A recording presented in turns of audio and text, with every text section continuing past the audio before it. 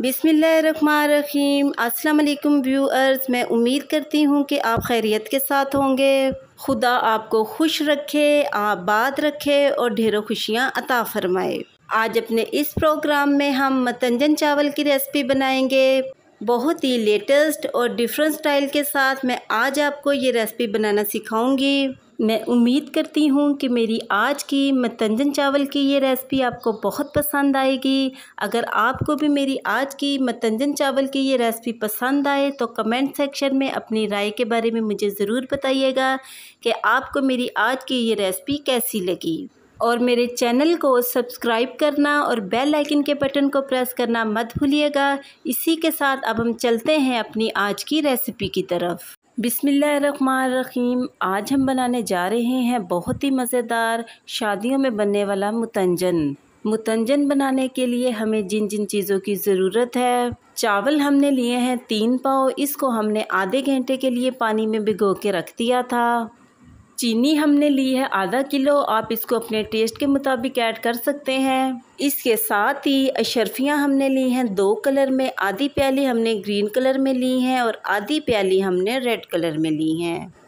Boil सेक हमने लिए हैं, दो अदद जिनको बॉयल करके हमने छिलका उतार लिया है। और साथ ही हमने पाँच से छः अदद गुलाब जामुन और चमचम ले लिए हैं। इसके साथ ही नारियल कटिंग में कटा हुआ हमें चाहिए आधी प्याली, किशमिश फोर टेबल स्पून बादाम हमें चाहिए आधी प्याली, जिसका हमने छिलका अच्छे तरीके के साथ रिमूव कर लिया है।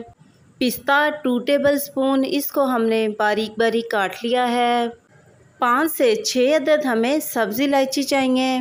ग्रीन फ़ूड कलर हमें चाहिए one a fourth tablespoon pink food colour one a fourth tablespoon और साथ ही हमें चाहिए yellow food colour one a fourth tablespoon इस स्टेप पर हमने एक पैन लेना है और इसमें तकरीबन डेढ़ से पौने दो लीटर तक हमने खुला पानी ले लेना है। ढक्कन की मदद से हमने अपने पानी को अच्छे तरीके के साथ कवर कर देना है। और इसको बहुत ही अच्छे तरीके के साथ हमने बॉईल करना है। अपने ढक्कन को हमने ओपन कर लेना है और आप देख सकते हैं कि हमारा पानी अच्छे तरीके से बॉईल हो चुका है। अपने चावलों का हमने एक्स्ट्रा पानी निकाल के बहुत ही एहतियात के साथ अपने चावलों को इस पानी में ऐड कर देना है। चम्मच की मदद से अपने चावलों को पानी में एक बार अच्छे तरीके से हमने मिक्स कर लेना है और छः से सात मिनट के लिए अपने चावलों को हमने कवर कर देना है। छः से सात मिनट के बाद हमारे चावल माशाल्लाह से बहुत ही अच्छे तरीके के साथ बॉयल हो चुके हैं।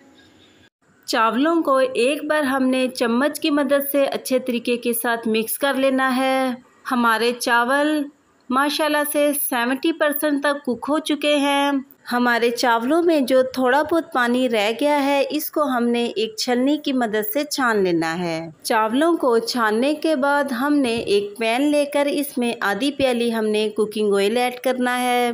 जैसे ही हमारा कुकिंग ऑयल गर्म हो, हमने इसमें पाँच से छः अदद सब्ज़ इलायची ऐड कर देनी है। तकरीबन एक मिनट तक हमने अपनी इलायची को ऑयल में फ्राई कर लेना है। आप चाहें तो एक अदद बादियान का फूल और तीन से चार अदद लौंग अपनी सब्ज़ इलायची के साथ ऑयल में ऐड कर सकते हैं। मुझे क्योंकि इन दोनों चीज़ों का टेस्ट मीठे चावलों में बिल्कुल पसंद नहीं है, इसलिए मैंने इन दोनों चीज़ों को अपनी सब्ज़ी इलायची के साथ ऐड नहीं किया।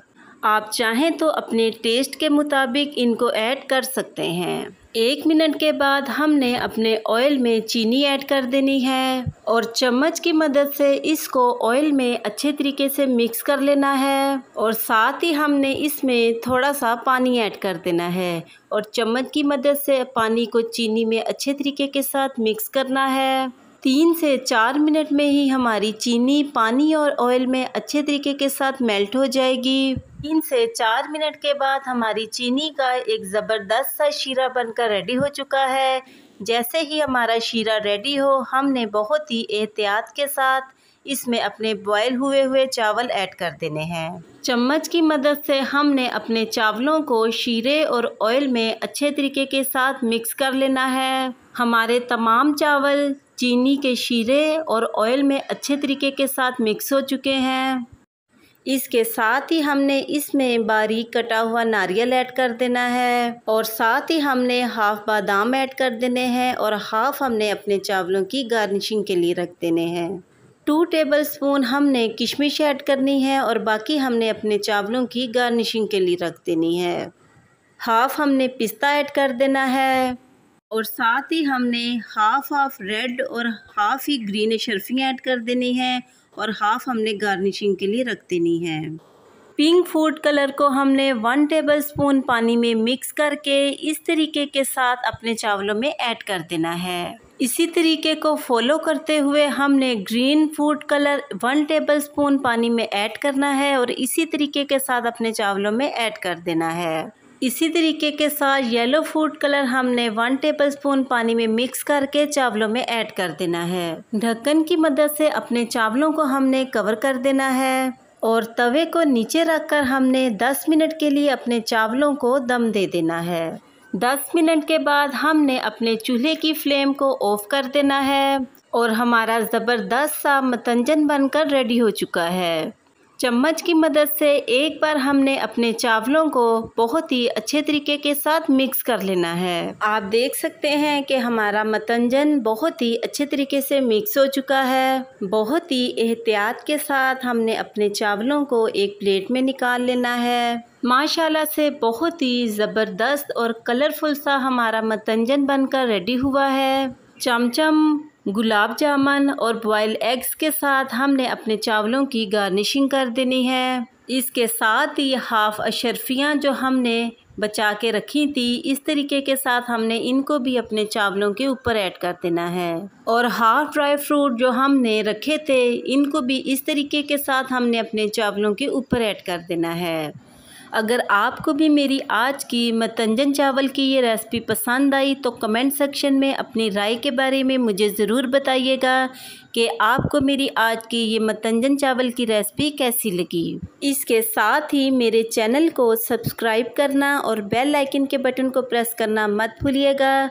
इससे मेरी न्यू आने वाली हर वीडियो का नोटिफिकेशन आपको आसानी मिलता रहेगा।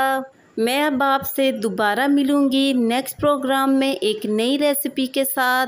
तब तक के लिए अपना बहुत ही ख्याल रखिएगा और मुझे अपनी दुआओं में ज़रूर याद रखिएगा। मैं अब आपसे इजाज़त चाहती हूँ। अल्लाह हाफिज़।